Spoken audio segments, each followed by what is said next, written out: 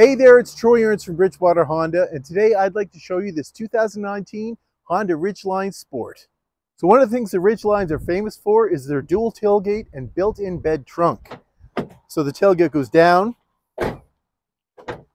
it goes out, and it's got an amazing built-in trunk that you can store your items in, as well as it has a drain plug in case you want to do a tailgate party.